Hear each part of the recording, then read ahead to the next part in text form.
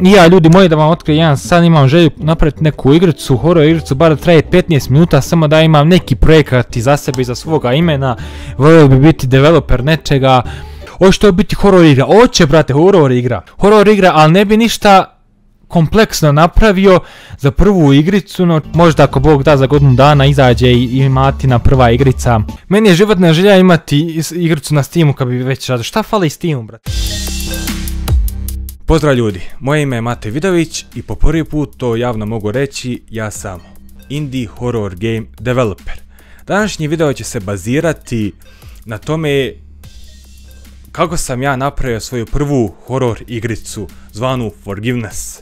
Kao što ste sva početka videa mogli vidjeti e, sa moga live streama 20.10.2022. godine kad sam na streamu, ako se ne varam tada sam bio streamovao Stumble Guys sa vama ljudi, sa vama pratiteljima.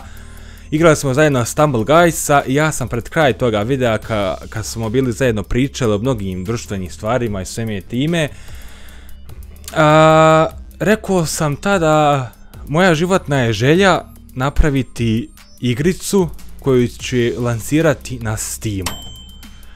S obzirom da većina nas voli horror igrice, dobre priče horror igricama i da budu napete i sve što ide uz dobre horore, odlučio sam eto tako napraviti svoju igricu minimalistički.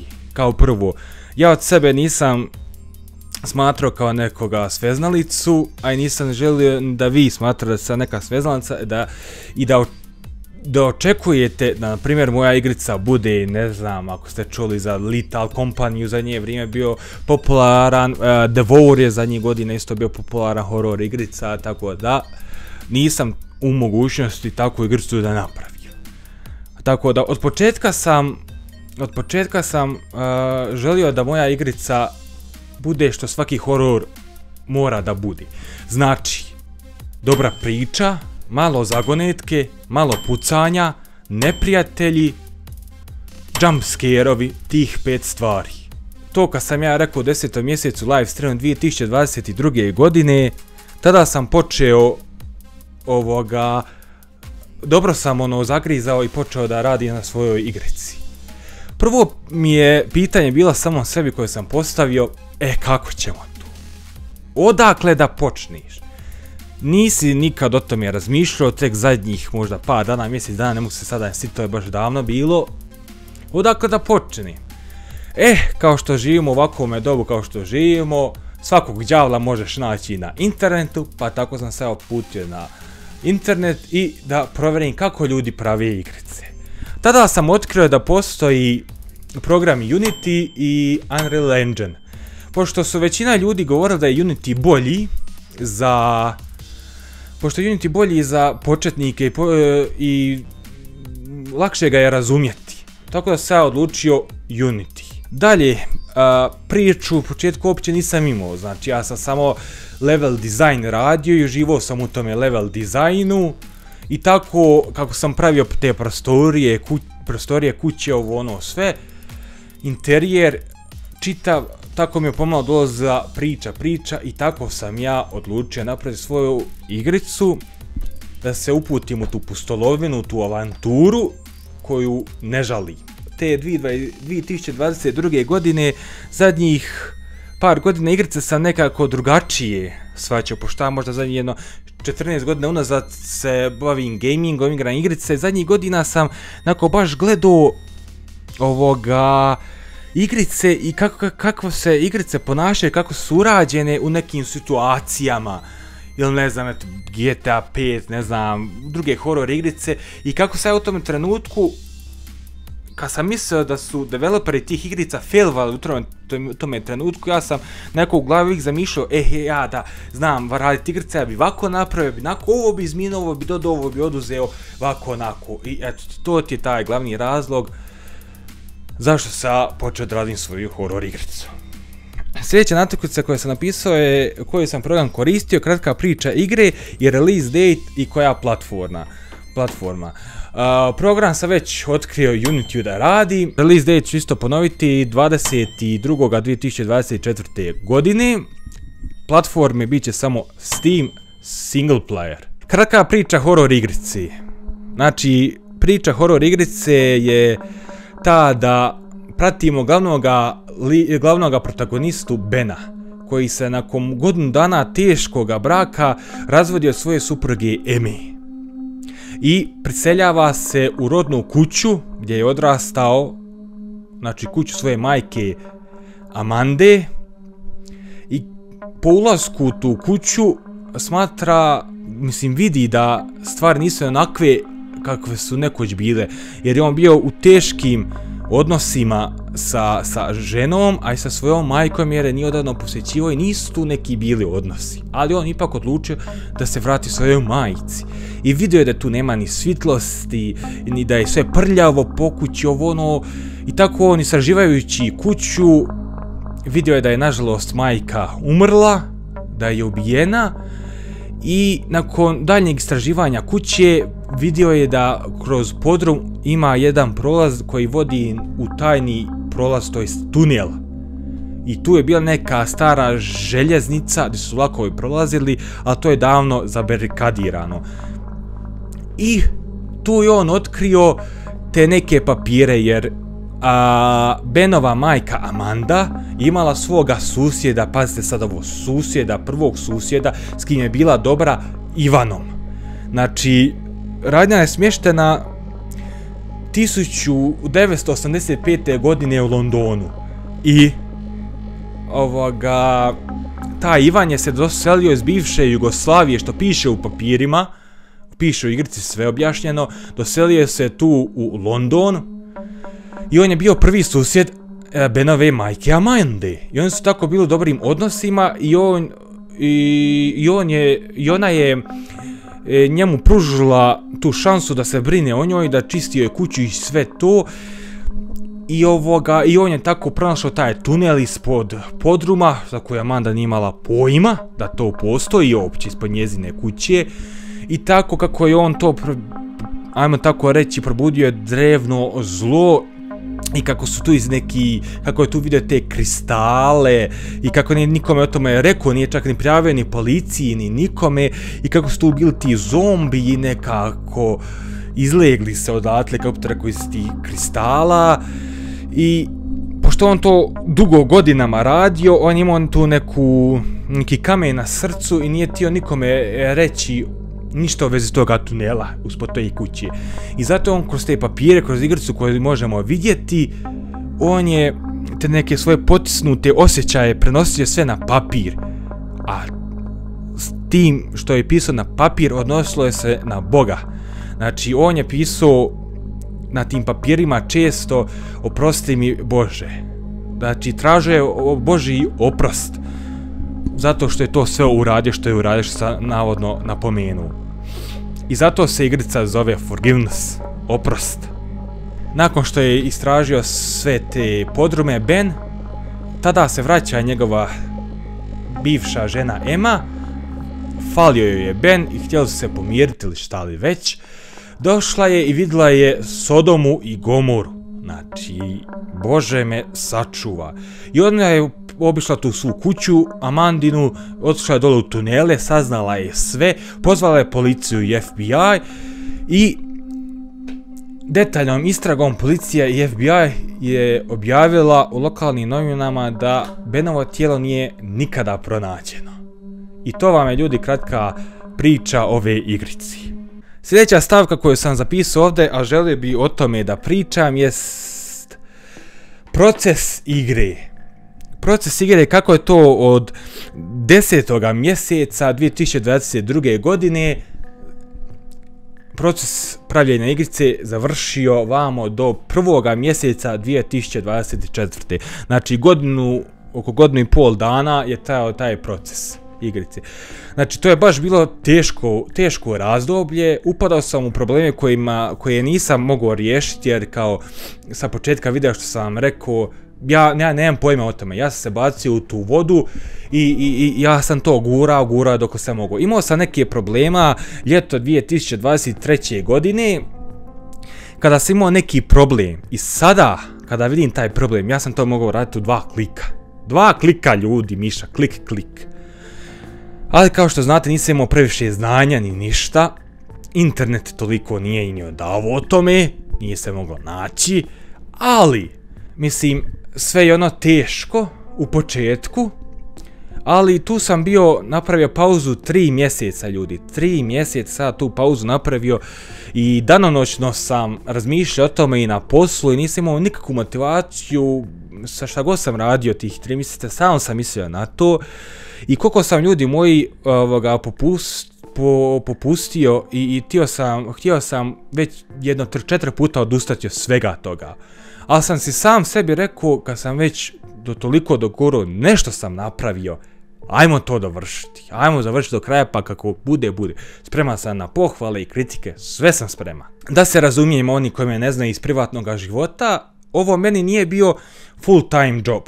Znači ja radim, ja sam u procesu pravljenja igrice radio, Znači ja bi se posvetio igrici možda svako drugi, treći dan kad sam imao vremena, jedno po 2-3 sata a nekada kad nisam radio, kad sam bio bilo slobodni dana, nekad sam za ovoj stolici, na ovoj ovdje baš sada sidi, znao sjediti po 8 sati. Znači, dođem s posla u 3 sata, odo sam pa jedno je do 11, 12 na večer, ponoć, eto više od 8 sati sam sjedio na ovoj stolici.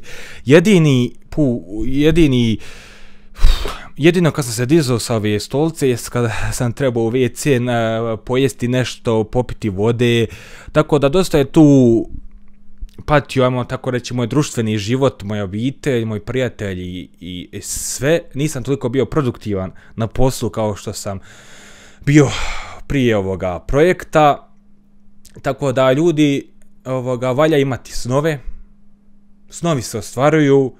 Ali ja ću vam sada reći iskreno, ne mogu se svi snovi ostvariti. Ali ja mogu reći da se moj san ostvario, ja sam jako veso po pitanju toga. Tako da eto, imat ćete uspona i padova, ali morate se vratiti. Znate kako se ono kaže? Nije sramota pasti, sramota je se ne podići. Idemo dalje. Sljedeća natuknica jest financije. Ja mislim da od vas o, 90% gledatelja, gledatelja koji budu gledati ovaj moj video zanimaju financije. Jesam li ja tu šta uložio, jesam ja išta platio, jesam ja nekako potplatio da meni to uradi, da ukrade na ovo, ono, uložio sam novce, u svaku igricu se mora uložiti, sam sam sve radio, jedino što možete vidjeti u kredicima, stavit ću vam tu i sliku, jeste da sam naveo da je ovo moja prva igrica i da sam ja jedini developer, jer jesam, jer sam sve sam radio i voiceover mi je posudio moj brat Tomislav, što mu ovako još jedan put javno zahvaljujem. Voiceover nije trebao biti, ali ja sam ono na kraju igrice zadnjih par mjeseci odlučio rekao, što da ne, hajde. Napisao sam u natuknice kako sve treba raditi, s kojim emocijama to treba prinijeti i snimiti i eto ti tako sve to nastalo. Ali malo sad idemo od teme, znači financije. Ja vam mogu reći da sam u ovaj projekat, ako mislite da sam ovo pravio da se obogatim i da ovdje do kraja života sidim i zarađujem milione, grdno se varate. Od ovoga nema života. Ovo je čista ljubav, volja i želja da ostvarim ovo i da iza moga imena stoji jedna igrica na Steamu koji more čitav svijet igrati. Znači, sada se prebacim na financije. Kao š, ne znam ja svi znate, a, morate isto platiti oko 90 eura što je postavite na Steamu. Znači Steam a, troškom i troškom igrice utrošeno u igricu je Na ovome dijelu sam pogriješio, tako da se sada moram ovdje u montaži ispraviti što se tiče troškova za ovu igricu.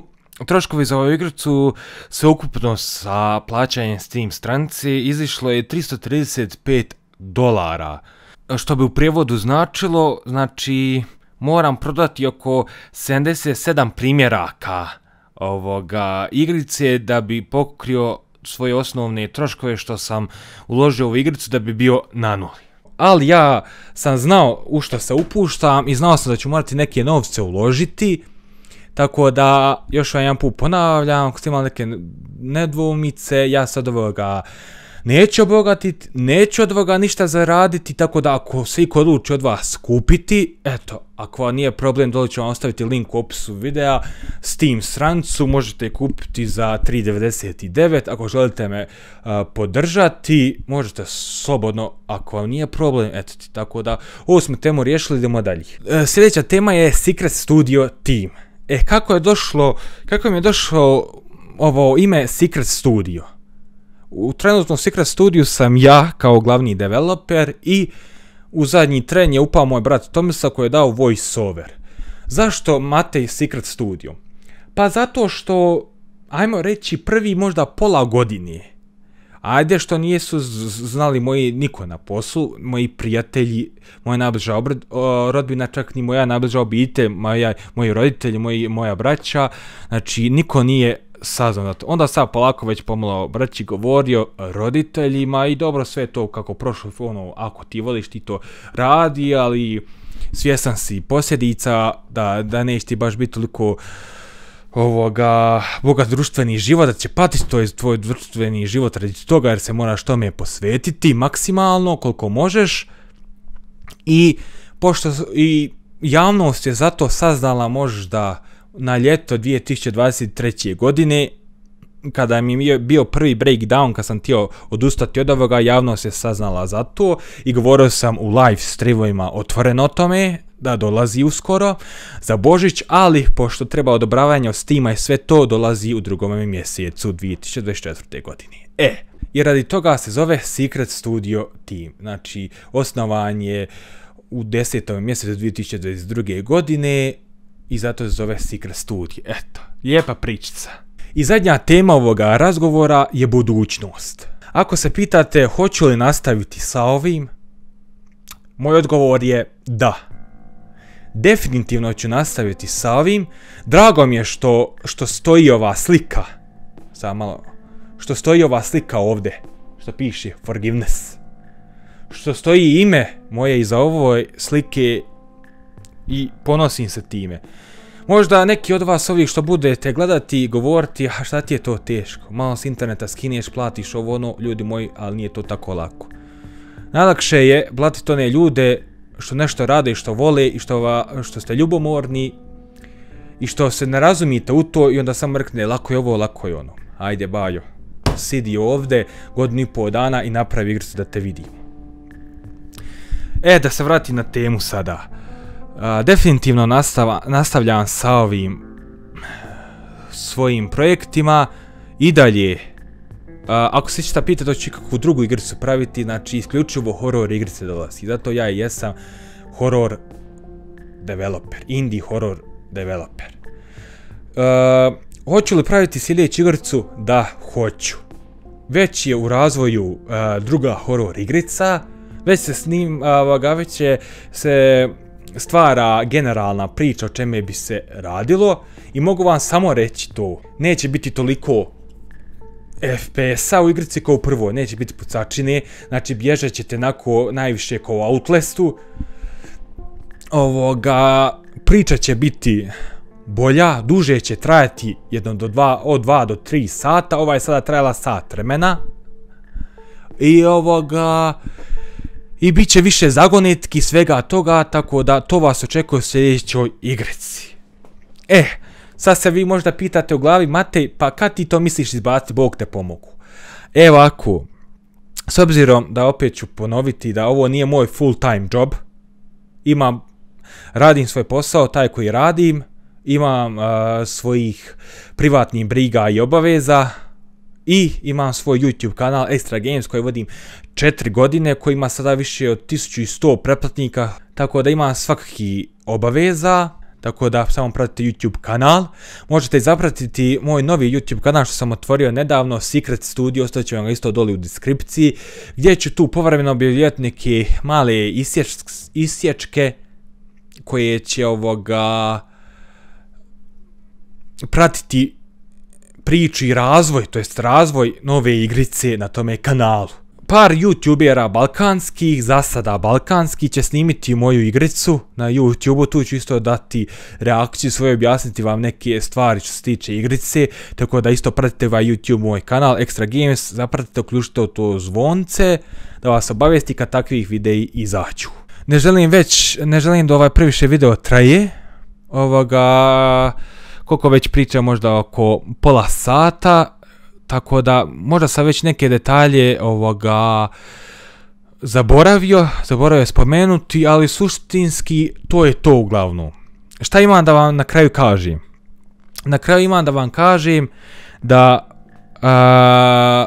ljudi imaju, ljudi svi imaju neke svoje snove, ali ovoga morate razumjeti da svaki snovi ne mogu, do, ne mogu biti realizirani u stvarnosti. Biće tu uspona i padova, ali ja mogu za sebe reći, moja životna je želja to bila i drago mi je nakon godinu po dana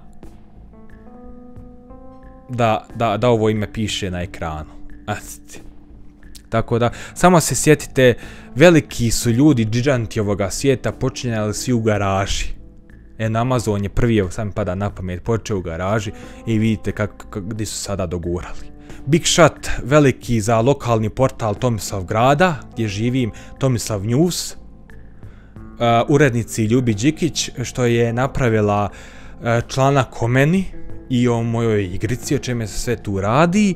Tako da, hvala puno Ljube na tome. Link toga članka možete isto pronaći dole u deskripciji, ostavit ću vam doli ako želite pročitati. Tako da eto, to ja mislim, to ljudi, živite svoje snove, ne dajte se.